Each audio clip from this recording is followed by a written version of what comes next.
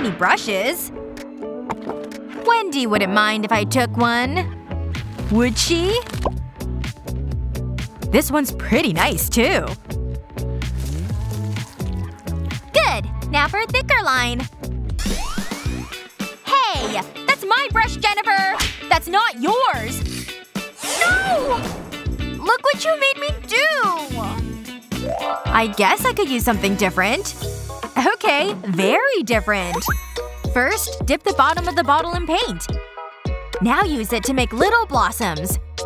Pretty easy, don't you think? Just a couple more. Perfect roundness, too. Try it with even more colors next. It's starting to look really pretty. See? Not bad.